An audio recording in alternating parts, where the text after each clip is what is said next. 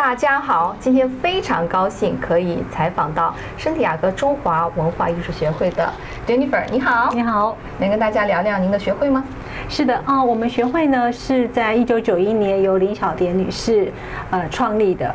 那那时候呢是他们刚到呃美国来的时候，就觉得呃从东方来的小孩子没有办法跟美国的小孩子一样有钱去看一场音乐会。所以他们那时候就立下了一个宗旨，就是想要帮助这些小孩子成长，所以就成立了这个学会。那也跟大家聊聊您自己吧，说说您的学习背景。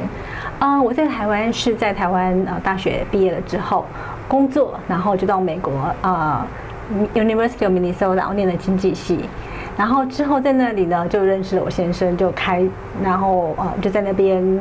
住了九年之后，到了呃 San Diego，搬到 San Diego 来了之后，因为小孩子要开始上学了，然后就在一个机缘之下呢，就到了中文学校，所以我在中文学校当了呃做了呃十三年，其中有十一年我是当呃中文学校的副校长。那是什么样的机缘巧合，让一个做校长的您和这个学会在一起呢？呃，当初就是在呃中文学校的时候。呃，在二零一四年的时候，呃，也是那时候，呃，艺术学会的会长周瑾女士，嗯，她那时候就找到我，就跟我讲说，希望我能够到艺术学会来帮忙，嗯，然后因为呃，就是我们艺术学会里面的成员都是呃年纪比较大一点，所以他就希望说能够招一些新血进来，会懂电脑的。因为如果说你看到他们那时候在做，因为每年中呃艺术学会他都会办呃绘画比赛哦，那很棒啊。对，我们几乎每年都有一两百个学生，甚至最多的时候两百五十个学生来参加我们的绘画比赛。那他们当初没有电脑，不会用电脑的情况之下，他们是用手写哦。每一个小孩子的名字，甚至连奖状都是用手写的，非常非常的辛苦。那我们进来了之后呢，就可以帮他们改善这方面的问题。除了画画以外，还有没有什么其他的活动呢？啊，我们每一年呢，就是会有三四个演呃演讲 seminar，然后最大的一个就是在呃过年农历过年的时候，我们会有一个很大的呃国际音乐节。哦，那很棒。对，就是在抛位，呃，场地大概都将近会有八百多个人，呃，来参加这个盛宴。哇，那真的很棒。对，那这么多年的职业生涯，有没有特别难忘的事情啊？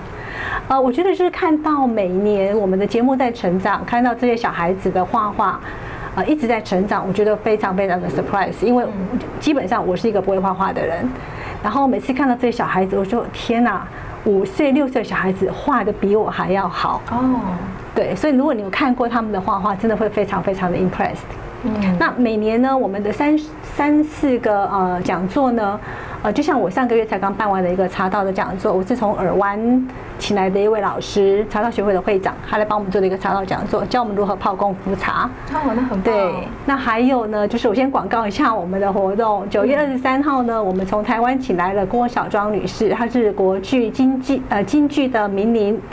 他会来 San Diego 做一个演讲，哇，对，好棒哦！对，他是第一把交椅，所以呢，我们希望能够透过这个节目，能够让更多人知道说，我们九月三号有一个郭小庄的演讲。嗯，一定要好好报道一下。对，谢谢。